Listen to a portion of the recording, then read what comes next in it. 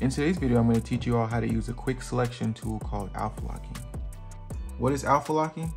Alpha locking is a setting that allows you to lock transparent pixels on a layer, only letting you paint on the already visible pixels. I know that may sound like a lot, so I'm going to show you guys what alpha locking is. So you can alpha lock in two different ways. So the first thing you want to do is click the layer, slide to your right, and it'll give you this checker pattern in the back. That indicates that your image is alpha locked. The second way is if you were to click and then this display menu comes up, you notice it says alpha lock on the side. If you were click that, it's now turned off, go back, click it, and now it's on. So there's two ways, sliding to the right with two fingers or clicking the layer and the check comes up. Then you know it's alpha locked. As we can see, this image of Gengar is visible. So if we were to click this uh, layer drop, we notice that the layer is selected and it is alpha locked. So how we can test if it's truly alpha locked, we would then go to our brush tool, then we want to go to airbrush. We want to grab something with a good radius. So I take my airbrush and I bring all the way to the top. And let's change this from black. Let's go to like a, a, a medium purple, dark purple, I guess. And we're gonna go across the screen. And as you can tell, the Gengar image is no longer black, it is now purple. By me coloring through that tells me that it is alpha locked and I can tell by the way it looks. Um, you can't see on the screen, put a lighter color, to a lighter purple, and now you should definitely be able to tell that that image has changed and it's no longer um, black.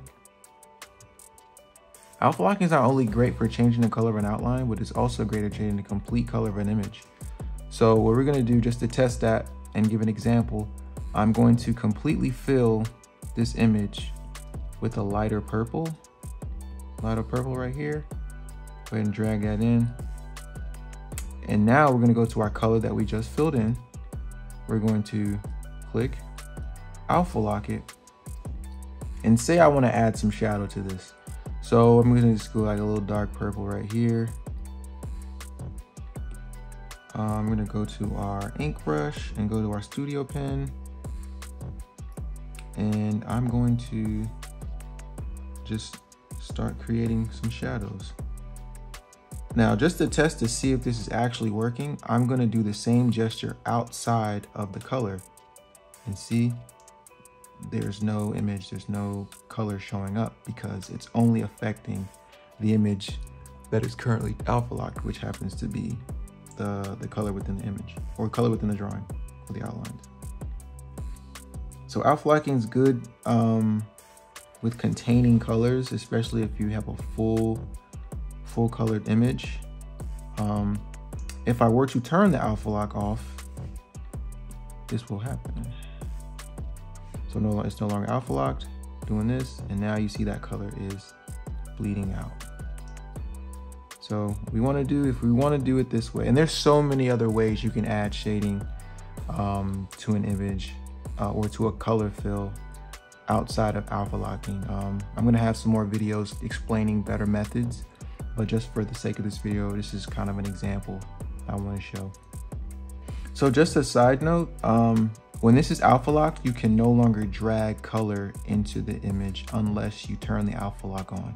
For example, I want to take this yellow and drag it to the middle here. It will not let me do it because it is alpha locked.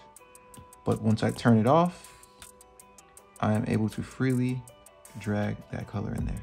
So when you're dragging colors into your image and you're using alpha locking, make sure you turn it off if you want to continue to drag those colors in if not, it won't show up.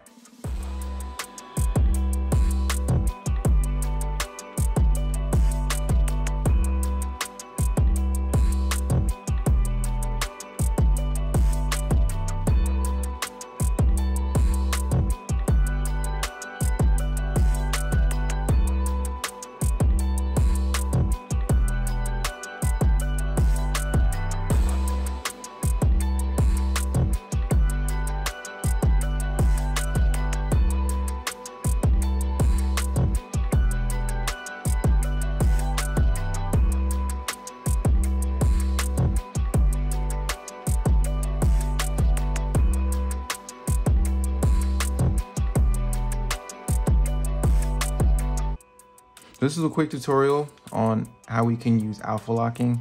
Um, as you can see, all of my shadows and my highlights are contained in this one purple section. Um, I was able to show you guys the effects of alpha lock alpha locking when it's turned on and when it's turned off. Um, so give it a try whenever you get a chance.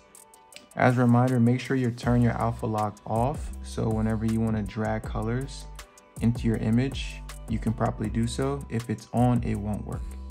Um, so if you enjoyed this video, give it a thumbs up. Um, if you haven't subscribed to the channel yet, uh, I suggest you do that because I'll be doing a lot more tutorials based on this, really quick and simple ones, and then we'll get more into the complex stuff going into next year and even at the end of this year.